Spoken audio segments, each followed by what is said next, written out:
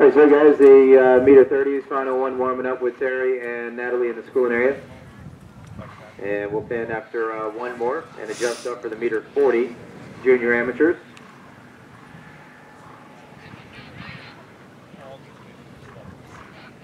Again, we'll see four total at the uh, meter 40 height today. One with Abby, one with Shannon, one with Vic, and also Abby here.